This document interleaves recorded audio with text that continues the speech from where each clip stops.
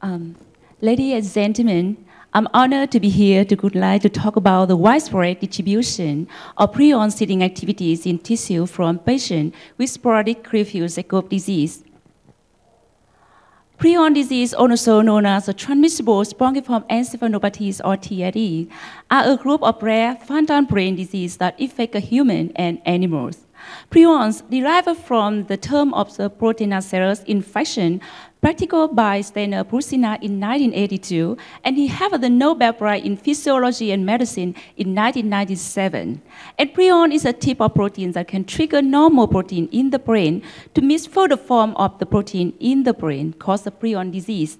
So in the picture, the picture, you can see the difference between the PRPC and PRPSC protein. In the PRPC, it's a non-infectious, insoluble, and protein case sensitive and the structure is the predominant alpha helical.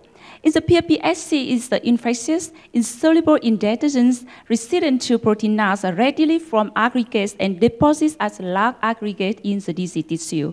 In the structure is the rich in beta seed.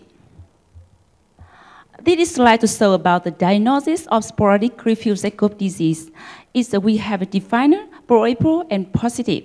Is the definer is a progressive neuropsychiatric syndrome and the neuropathological and immunopsychochemical or biochemical confirmation.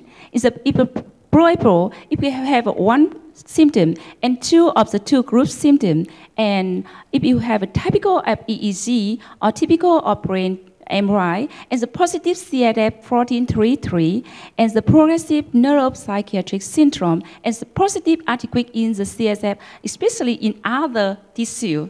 And the symptom like a rapidly progressive cognitive impairment and the myoclonus in visual and cerebral disturbance and pyramidal and extrapyramidal size and academic movement and excludes of other cause incomplete diagnosis was up. If it's possible, if you have one symptom or two of two symptoms and duration is less than two years. Uh, this is slide to talk about the two methods is the protein misfolding, cyclic amplification, and quarking-induced conversion. It two methods can amplification the prion seeding activities. Uh, although uh, two method is the same of the meteorology, but it's different about the detection and amplification. It's a PMCA is a sensitive detection of pathological prion protein in the cyclic amplification of prion misfolding.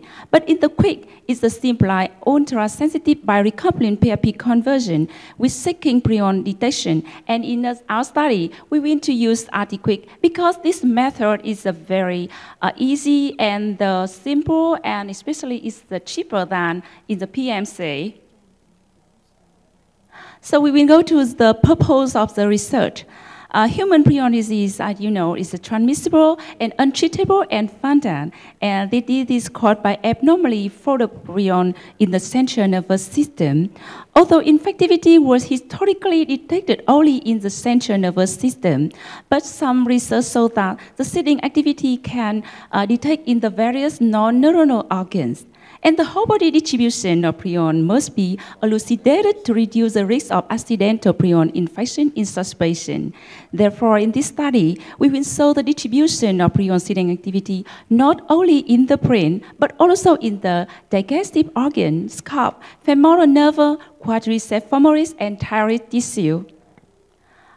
In this study, we have a 22 patients and 9 native brain and 22 native scalp. In there, we have a 5 patient sample with the encephalus, stomach, duodenum, jejunum, and renal gland, pancreas, appendage transfer column, and 6 more column specimen, and 2 patients with sample the teres, dermis, femoral nerve, and quadriceps femoris, and 5 human sample obtains the non-human prion disease. So we will go to the preparation and sample because we have a lot of organ. But now I will show about the uh, scalp in the scalp and the brain.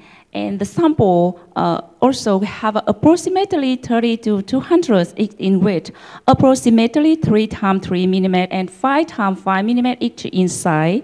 And this sample was homogeneous with the 10% of PPS and using about the machine power in two and one or two minutes. And that sample was clarified by centrifugation. It's 6,000 ppm for two minutes, and we went to store the minus 80 degree. Uh, so now we will go to the result of the discussion. Pre-onsetting activity of digestive organ in five sporadic refuse cycle disease. As you know, we have eight organ uh, of the nine, nine organ in the digestive organ. It's five patients. And we can see that it's the highest we can see in the esophagus. It's nearly about uh, is average about the 6.63 plus and minus 0, 1, uh, 0.5 3 to the 8.38 plus and minus 0.16 and average about the 7.63 plus and minus 0.15 and lower we can see that in the sigmoid column and some okay, in the terminal ileum and lower in the pancreas and adrenal gland. Uh, this is the distinctive histopathological feature of the sporadic refuse disease.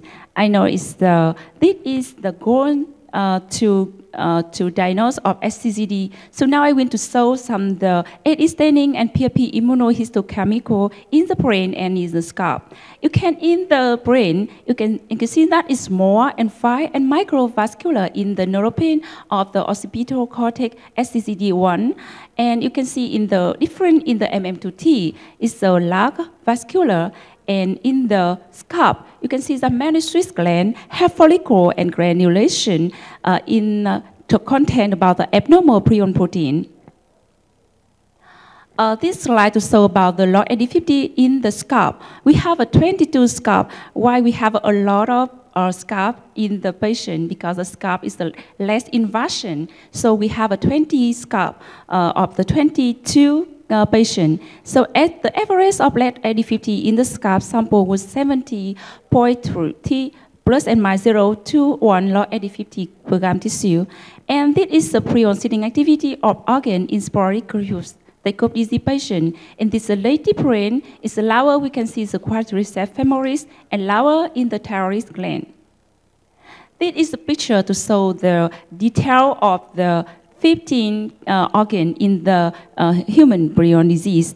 Um, in the brain, the log AD50 is 9.96 plus and minus 0.15. In lower, in, you can see that in the femoral nerve, is uh, lower than the brain to 100 times, and lower we can see in the esophagus and duodenum and the terminal ileum, especially in the scalp. Is uh, although it, the organ is a less invasion, but you can see that it's lower in the brain is a 1,000 times. In all of the organ, you can see that in the thyroid is only about 4.5 log AD50. So now we're going to go to the summary. The endpoint adequate assay using seriously diluted brain homogenate in the SCCD patient, and the rate approximately 10 to the power of 10 per gram tissue. In the scalp and peripheral nerve have a limit invasion, but AD50 was at 1,000 times lower than in the brain. In the AD50 of digestive tissue reached around 10 to the power of 4.75 to 10 to the power of 8.38 plus and minus 0.16 program in the tariff uh, account for the lowest proportion. So I will go to the conclusion. The PRP deposits were detected not only in the brain, but also in the digestive organ, scalp, femoral nerve, quadriceps femoris, and thyroid tissue. The article analysis identified positive seeding activity for all of these organs and the scalp. And our study demonstrated that the most other organ of SCCD patient contain both pre-onsetting activity in infectivity, which raised a concern about the potential for iatrogenic SCCD transmission via transplant. And finally, thank you so much for everybody today. Thank you. Thank you, Dr. Chang. You deliver a totally uh, comprehensive presentation.